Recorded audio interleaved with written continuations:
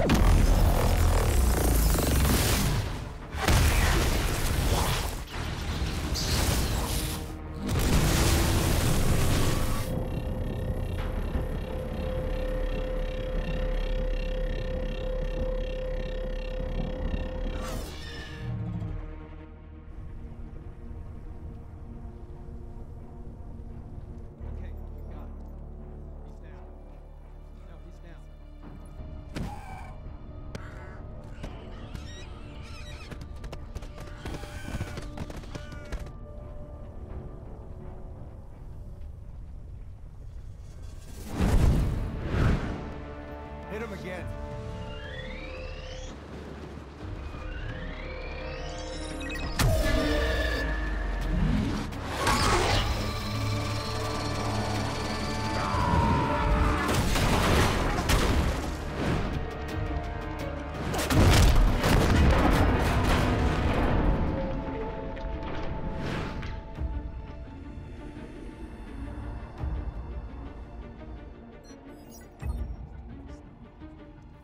$400 billion for the world's most expensive nosebleed.